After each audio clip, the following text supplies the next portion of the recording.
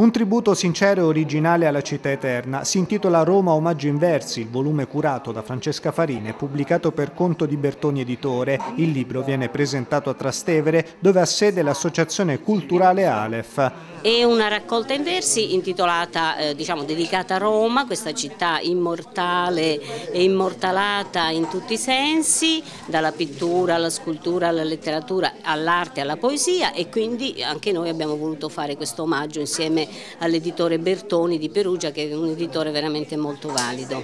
Da Claudio Damiani a Davide Cortese, da Valerio Magrelli a Letizia Leone, tante le persone che con il loro contributo hanno permesso di dare vita alla sfiziosa antologia poetica.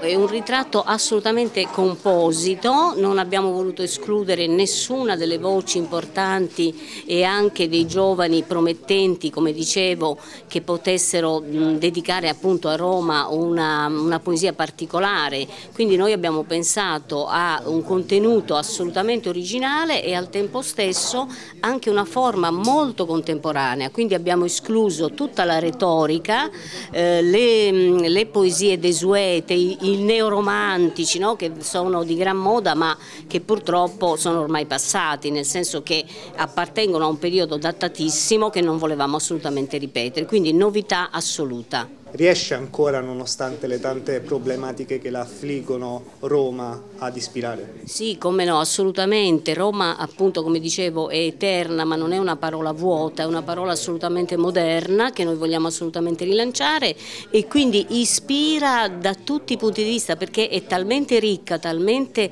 straordinaria, talmente sfaccettata questa realtà romana che veramente è fonte continua di ispirazione per i poeti.